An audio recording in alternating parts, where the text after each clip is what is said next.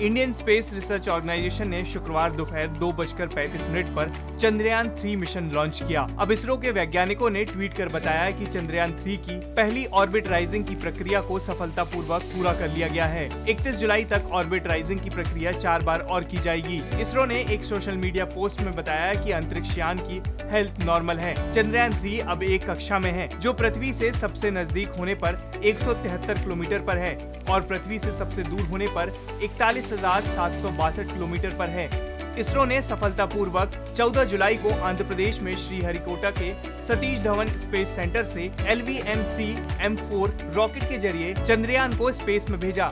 16 minute बाद ही चंद्रयान पृथ्वी की कक्षा में सफलतापूर्वक पहुँच गया। सब कुछ प्लान के अनुसार रहा तो 23 अगस्त को शाम तक चंद्रयान चाँद पर उतरेगा। चंद्रयान थ्री में लैंडर, रोवर और प्रोपल्शन मॉडल हैं। लैंडर और रोवर चाँद के साउथ पोल पर उतरेंगे और 14 दिन तक यहाँ प्रयोग करेंगे। इस मिशन के ज़रिए पता लगाया जाएगा कि चाँद की सतह पर कैसे भूकंप आते हैं। साथ ही ये चंद्रमा की मिट्टी का भी अध्ययन करेगा। Bureau report, Dainik Bhaskar.